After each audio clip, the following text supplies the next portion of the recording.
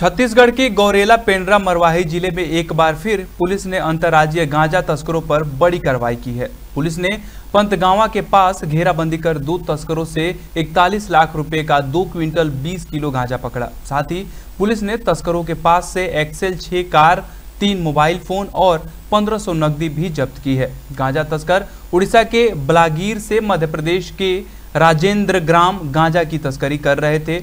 मामले में पुलिस ने मध्य प्रदेश के अनूपपुर निवासी रामप्रसाद यादव और सोनू पांडे को गिरफ़्तार किया है। वहीं गौरेला पेंड्रा मरवाही पुलिस की यह एक माह में तीसरी बड़ी कार्रवाई है, जिसमें अब तक पुलिस ने लगभग एक करोड़ का चार क्विंटल पचासी किलो गांजा पकड़ा है। साथ ही पाँच चरपहिया वाहन कीमती लगभग साठ लाख जब्त करने के साथ ही फाइनेंशियल ट्रेल को ट्रेस करते हुए दो दर्जन खाते होल्ड करवाए हैं। साथ ही ग्यारह तस्करों को गिरफ़्तार भी किया है।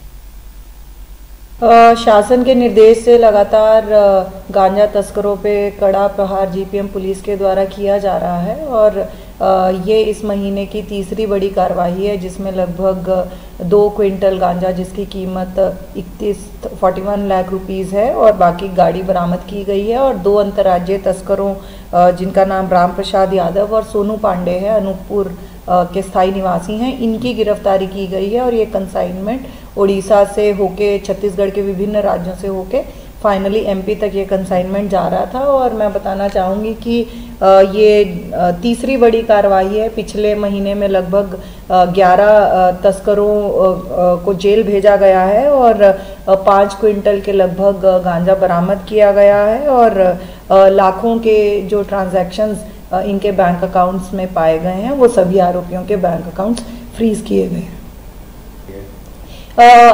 इस कार्रवाई में जो वाहन है चार पहिया वाहन एक्सएल सिक्स कार, उसकी जब्ती की गई है। मोबाइल फोन्स और कुछ नकदी कैश मिला है, वो जब्त किया गया है।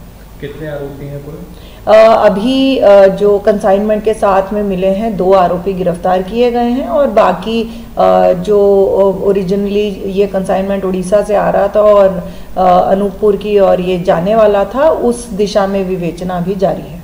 कहाँ पर कार्रवाई हुई है?